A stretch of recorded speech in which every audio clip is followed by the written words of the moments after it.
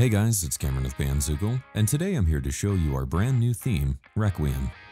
Requiem introduces several new features to the theme editor, with updated content styling, parallax scrolling, and new header filters. Requiem introduces a few new fonts for you to select for the site title, content, and menu. These new fonts provide better legibility for your fans and offer a very clean look to the website.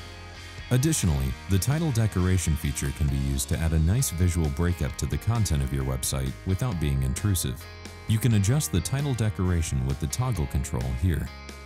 You can also customize the height of the header image on the home and interior pages by adjusting the image height controls here. This allows you to either show your site's header image in full, partially, or hide it altogether.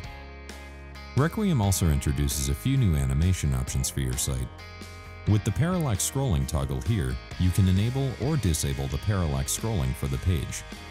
This allows the image to scroll at a different rate than the site's content, which provides a subtle enhancement to your site. Additionally, you can toggle the image animation when a page is loaded with the Fade Image on Load toggle here. We've also introduced a new set of image filters with Requiem. Similar to many popular image editing applications, these filters can add different moods to your site's header.